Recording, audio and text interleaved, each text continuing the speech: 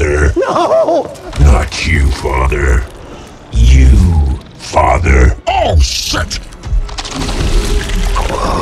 Where you going? Where you doing? This is much worse than I thought. That is a red one. Wow. Uh, red one.